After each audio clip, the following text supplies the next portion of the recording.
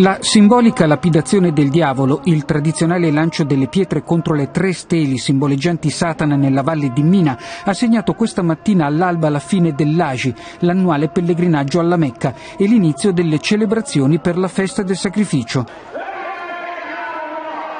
Eid al-Hada, il ricordo rituale della prova superata da Abramo, venerato anche nella religione musulmana, cui Allah chiese, secondo il Corano, di sacrificare il figlio Ismaele.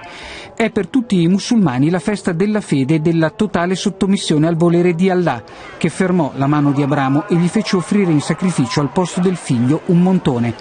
festa celebrata con la macellazione di un montone, una pecora, una mucca o un cammello e la distribuzione gratuita di una parte della carne del sacrificio ai più poveri della comunità.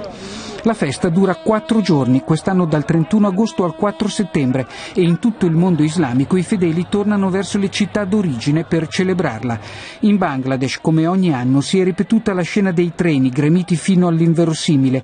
In Libia i migranti hanno potuto celebrare la festività nei campi di detenzione, mentre in Arabia Saudita la celebrazione è coincisa con la conclusione del pellegrinaggio alla Mecca.